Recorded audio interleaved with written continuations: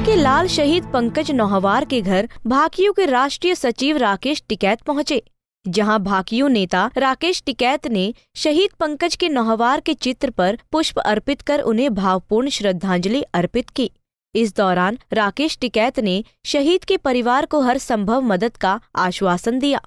वहीं भारतीय किसान यूनियन के राष्ट्रीय सचिव राकेश टिकैत ने कहा कि सरकार को शहीद पंकज नौहवार को एक करोड़ की आर्थिक सहायता दी जानी चाहिए थी। तो ये तो देश के लिए शहीद हुए हैं ठीक है ठीक है। और हमारी जो डिमांड सरकारों से है हमारी है कि जितने भी जो पैरामिलिट्रीज के जो जवान हैं जो शहीद होते हैं हमारे उनको शहीद का दर्जा दिया जाए उनके परिवार को एक करोड़ रुपए का मुआवजा दिया जाए उस गाँव को शहीद गाँव घोषित करा जाए ये हमारी डिमांड है।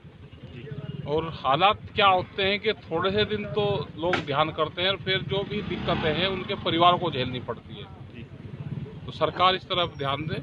इस दौरान राष्ट्रीय सचिव राकेश टिकैत के साथ जिला अध्यक्ष मथुरा राजकुमार तोमर और चेतन नौहवार सहित सैकड़ों कार्यकर्ता मौके पर मौजूद रहे और सभी ने शहीद को भावभीनी श्रद्धांजलि दी।